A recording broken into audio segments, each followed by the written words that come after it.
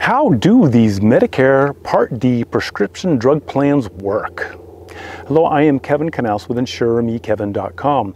And when I work with a Medicare beneficiary, oftentimes one of the most confusing aspects of their health coverage is selecting a Part D prescription drug plan because none of them seem the same. They're just all kind of all over the map with different deductibles and copays and co-insurance. And that is because Medicare allows the plans to create alternate plan designs, member cost share structures, and they can be a little bit confusing. Now, these alternate designs must be equal to the standard benefit structure that Medicare creates. So let's look at that because Medicare puts out this standard structure every year. They kind of just update um, the cost, the member cost sharing. So for 2024, there will be a drug deductible of $545.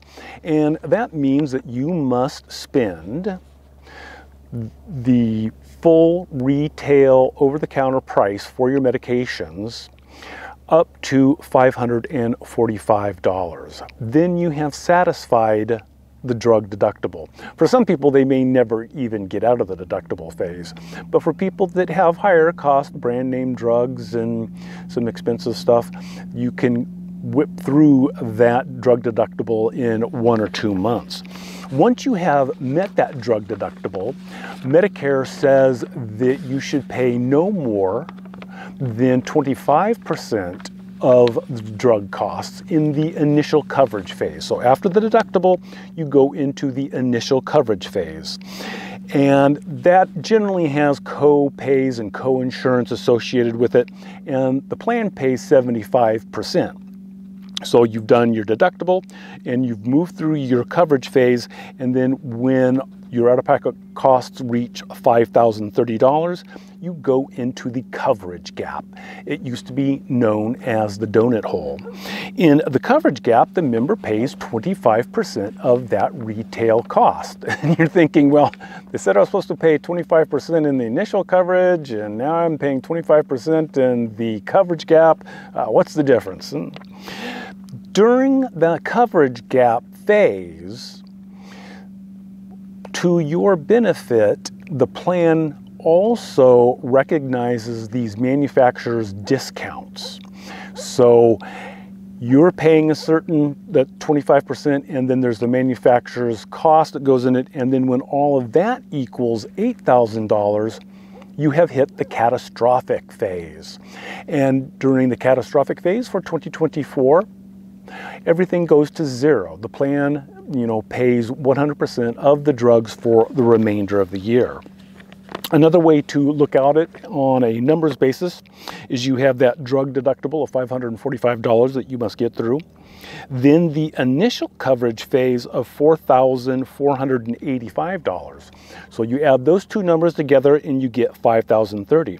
Then in that coverage gap, you're paying 25%, which equals $742.50. Those manufacturers' discounts uh, are accrued and accumulate to $2,227.50.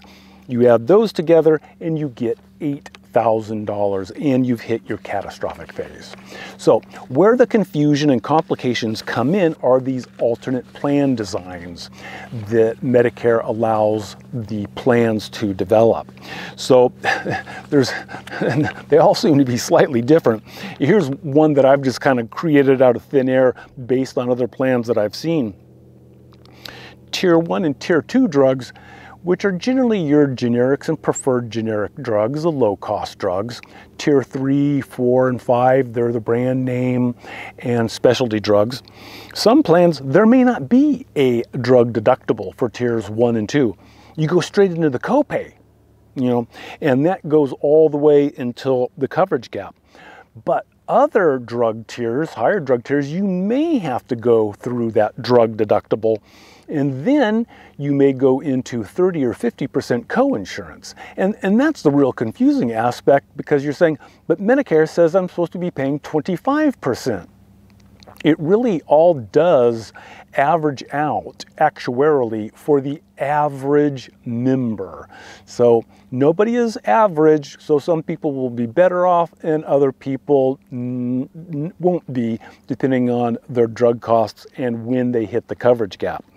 But once you hit the coverage gap, then those tier one and tier two drugs pop up in cost up to 25% of the over the counter retail amount and tiers three and four can drop down to 25%. So, you know, some of the drug costs go up and some of the drug costs come down. And then once you get through that coverage gap and they're adding on that manufacturer's discount, you hit $8,000 that's the catastrophic phase and you are paying zero after that. Hopefully you never even get close to that. Um, but because of these alternate plan designs, it can be very confusing. I recommend to people, if you're not using an agent, to use Medicare.gov, put in your drugs, and be very specific about the dosage and the frequency of the drugs and whether it's brand name, maybe you can only tolerate a brand name drug or the generic. And then you'll get the total cost of the drugs and you can see what the costs will be in the deductible, the initial, and the gap phase. And again, you may not ever reach you may not get through the initial to the gap, and even when you get into the gap, you may not hit catastrophic. So it's kind of hard to know if the alternate plan design is benefiting you over the standard benefit design, but that's just kind of the way things are. You have to look at your particular situation, your drug costs, and finding a plan that minimizes your out-of-pocket costs for the year because these plans, they, they're trying to maximize their dollars um, on you with these different plan designs and putting the drugs in different tiers. So this is your way to kind of fight back or leverage the system using Medicare.gov or having someone do the search for you to find out what plan is going to minimize your out-of-pocket costs for prescription drugs in 2024. And of course, we'll have another plan design and, and, and different dollar amounts in 2025. Otherwise, if you have any comments or questions, you may leave those down below. For InsureMeKevin.com, I'm Kevin Knauss.